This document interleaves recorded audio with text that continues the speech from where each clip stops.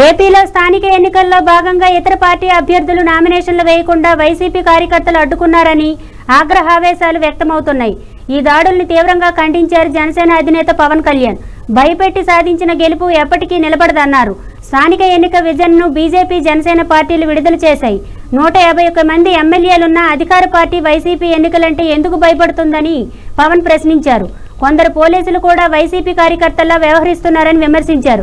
కాగా నామినేషన్లకు ఇంత హింస సృష్టిస్తారా అంటూ మండిపడ్డారు పవన్. ఏకగ్రీవం చేయాలనుకున్నప్పుడు ఎన్నికలు ఎందుకంటూ ప్ర- పవన్ ప్రశ్నించారు. జగన్మోహన్ రెడ్డియే ఏకగ్రీవం చేసుకొని ప్రకటించుకుంటే సరిపోతుందన్నారు. దీనికి రాష్ట్ర ఈసీదే బాధ్యత అన్నారు పవన్ కళ్యాణ్. శశన్ లాంటి వ్యక్తి ఈవేళ రాష్ట్రంలో ఉంటే ఇలాంటి పరిస్థితి వచ్చేది కాదన్నారు. ఎవరికి ప్రజాస్వామ్యం పట్ల గౌరవం కానీ వైసీపీకి ముఖ్యంగా?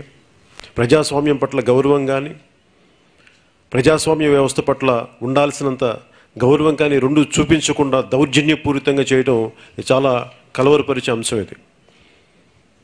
గత కొద్ది రోజులుగా నేను చెప్పేది గత నెలలుగా నేను చెప్పేది నేర చరిత అంటే క్రిమినలైజేషన్ ఆఫ్ పాలిటిక్స్ని భారతీయ జనతా పార్టీ కానీ జనసేన కానీ చాలా సంపూర్ణంగా మేము దాన్ని నిరసిస్తాం దాన్ని. అందుకనే కొత్త వాళ్ళకి యువతకి అవకాశాలు ఉండాలి స్థానిక ఎన్నికల్లో. ఎక్కువ మందికి అవకాశాలు ఉండాలి. మేము ఒకలాగా చాలా బలమైన పట్టుదలతోటి దీక్షతోటి మేము కొత్త కొత్త యువతకు అవకాశం ఇవ్వాలి.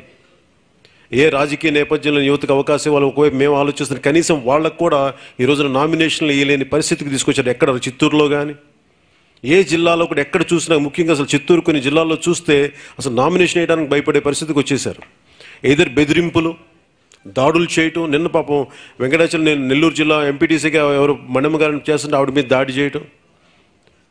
అలాగే అనంతపురంలో మా పిఎస్సీ సభ్యులు చిలక మధుసూదన్ రెడ్డి గారి మీద దాడులు చేయడం రాళ్ళ రాళ్ళ దాడి చేయడం అలాగే ఈ రోజున మనకి కాళహస్తిలో కూడా మా నాయకుల మీద దాడి చేయడం అలాగే జనసేన మన భారతీయ జనతా పార్టీ నాయకుల మీద దాడి చేయడం ఇవన్నీ చూస్తుంటే నిజంగా నూట యాభై ఒక్క మంది సభ్యులుండి వీళ్ళకి ఎందుకు ఇంత భయం ఉందో.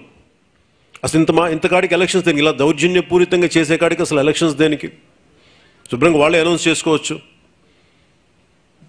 ఒకసారి అనిపిస్తూ ఉంటుంది నిజంగా శేషన్ గారు లాంటి ఎలక్షన్ కమిషన్గా ఆయన ఆధ్వర్యంలో ఉంటే ఇలా జరుగుద్దా అని అనిపి అనిపిస్తూ ఉంది. ఈ రోజున స్టేట్ ఎలక్షన్ కమిషన్ కూడా వాళ్ళ బాధ్యతను మేము గుర్తు చేస్తున్నాం.